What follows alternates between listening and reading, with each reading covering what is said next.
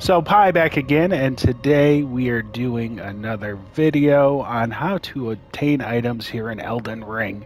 Uh, this weapon uh, right here, the Battle Hammer, uh, you can get located here in Murkwater Catacombs. Now the requirements for this is 26 strength and 8 dex. Um, pretty cool weapon, especially if you're strength build does have pretty nice attack, nice uppercut. Um, it does have braggart's roar as your uh, skill. I, I, believe that increases your attack.